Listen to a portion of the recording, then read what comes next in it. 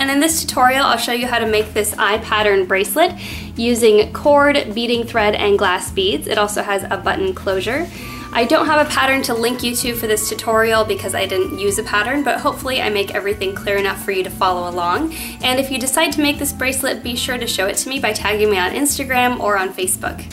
For this project, you'll need seed beads. I picked mine in light green, dark green, dark blue, and light blue. You'll need some safety pins, a toggle button, scissors, waxed cord or any type of cord you prefer, some beading thread, and of course a needle that is small enough to pass through your beads. Begin by measuring your cord twice around your wrist, then use that length and double it over, and cut your cord to that length. Then use that pre measured piece of cord and cut a second piece of cord that is the exact same measurement as that one. Once you've cut your cords, put the ends of each cord through your toggle button and position your button in the center of both of your cords. The easiest way to do this is to grab all four ends of your cords and hold them together and then pull on the button.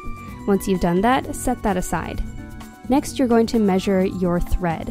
Wrap the thread twice around your wrist and then before cutting that, you'll want to fold it over and duplicate that measurement five or six times. I recommend doubling it over six times because you're probably going to use all of your beading thread. It may seem like a lot, but you're going to be going sideways through your bracelet rather than just going from one end to the other. Then slip that thread through the toggle button with the rest of your cords and tie it into a surgeon's knot or any secure knot. Then grab your thread and all of your cords all together in one bunch and tie those in a knot. You're going to want to push that knot up as close to the toggle button as you can and then pull it really tight. This is going to add a little bit of strength to your bracelet. Then you'll want to pin that down to your work surface. You can use your pant leg, you can use your bedding, the carpet, anything that's soft. If you don't have a safety pin, you can also clip it down in a clipboard instead. Then grab your two center cords and your string and take your left cord and begin knotting around it. Basically, grab your left cord, put it underneath your center working cords, and then back over your center cords and through the loop. Then switch to the right side, put your right cord underneath your center cords, then pass it back over your center cords and through the loop, and pull it tight to the right. Then switch back to the left. Grab your left cord, put it underneath your center cords, put it over the center cords and back through the loop and pull it to the left. Then back to the right, under the center cords, over the center cords, and through the loop. Then grab your other safety pins or another clip or tape or anything that you have lying around to tape down your other ends of your cords. You're going to want them secure because when they're pulled taut, it makes it a lot easier to do your beading over them. Now you're ready to start your beading. You'll want to thread your needle and then pass your thread through two light green beads. Position them between your outer cords so your middle cords will have a gap between them with no bead. And this is going to go underneath all of your cords. Then you'll pass your needle through, back over, and you're going to go over the right cord, through the bead, then over your center cords, and then through the other bead, and over the last cord. So you're going to pass your string underneath all the cords when you go to the right, and then over all the cords when you go back towards the left. And be careful that you don't actually sew through any of your cords during this step. Then pull it tight and shimmy all of your beads as far up as possible to keep the work tight.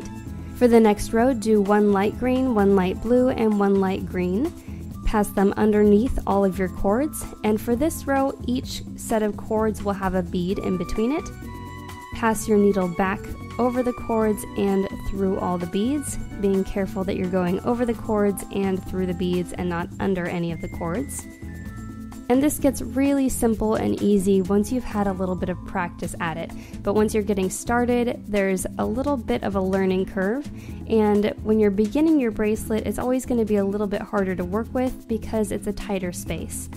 For the next row, do the same thing one light green, one light blue, and one light green. For the next row, do one light green, two light blue, and one light green. For the next row, one light green, one light blue, one dark green, one light blue, and one light green. And you're only going to be positioning your single light green beads between those outer cords, so your center should have three beads. For the next row, do one light green on the left, one light blue, two dark green, one light blue in the middle, and then one light green on the right. For the next row, on the left, light green in the center, light blue, dark green, light blue, dark green, light blue, and light green on the right. For the next row on the left, light green, in the middle, light blue, dark green, dark green, light blue, and on the right, light green. For the next row on the left, two light green, in the middle, one light blue, one dark green, one light blue, and on the right, two light green. You'll notice you're going to start switching it up and adding more to the sides. On the left, light green, dark blue, light green, in the middle, two light blue, on the right, light green, dark blue, and light green. For the next row, on the left, light green, dark blue, dark blue, light green. In the center, one light blue. On the right, light green, dark blue, dark blue, and light green. For the next row, on the left, light green, dark blue, light green, dark blue, light green. In the center, one light blue. On the right, light green, dark blue, light green, dark blue, and light green. So you'll see that you're basically just switching from the center having the pattern to the sides having the pattern at this point. And if you're having trouble pulling your needle through, use some pliers. For the next row, on the left, light green, two dark blue, light green, center, light blue, right, light green, two dark blue, and one light green. For the next row, on the left, light green, dark blue, light green, in the center, two light blue, on the right, light green, dark blue, and light green. Next row on the left, two light green. In the center, light blue, dark green, light blue. On the right, two light green. Next row on the left, one light green. In the center, light blue, two dark green, one light blue, and on the right, one light green. Next row on the left, light green. In the middle, light blue, dark green, light blue, dark green, light blue, and light green on the right. For the next row on the left, light green. In the middle, light blue, two dark green, one light blue, and on the right, one light green. For the next row, on the left, two light green, in the middle, one light blue, one dark green, one light blue, and on the right, two light green. Next row, light green, dark blue, light green on the left, two light blue in the middle, light green, dark blue, light green on the right. Next row, light green, two dark blue, light green on the left, light blue in the center, light green, two dark blue, light green on the right. Next row, light green, dark blue, light green, dark blue, light green on the left, one light blue in the middle, light green, dark blue, light green, dark blue, light green on the right.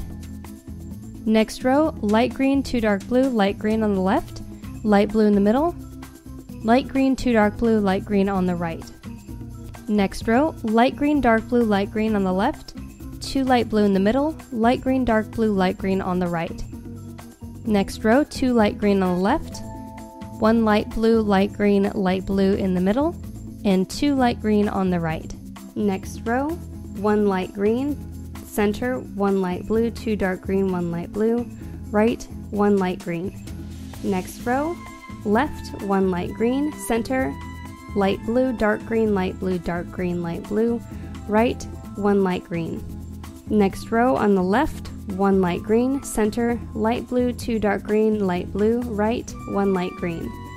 Next row on the left, one light green, center, light blue, dark green, light blue, and on the right, one light green. Next row, and we're getting close to finishing up here. Left, light green, center, two light blue, right, light green. Next row, left, light green, center, light blue, right, light green. Next row, same thing, light green, light blue, light green. And now for the very last row, simply do two light green and you're going to skip the middle so there's no bead in the center, just on the left and on the right. And once you've done your last beads, take your needle and stitch through your cords. So you're going to be sewing through the center of all of your cords. Pull your needle all the way through and then sew back in the opposite direction, making sure that you don't go through the exact same hole pull that tight, and then pick one of your center cords and tie another little surgeon's knot or overhand knot or square knot, anything that's going to secure that little thread in there and make it stay put. And then you'll do your stylized braid again over your center cords. So do right, left, right, left, and make that as long as you want it on that end of your bracelet. And if you wanted to, you could even keep your beading pattern going for longer and then just double it up and then you'll have to do less of this on your bracelet because the beads will go almost all the way around your wrist. Then do an overhand knot around the whole thing to tie it off. I ended up trimming off two of my short cords and then I was left with two.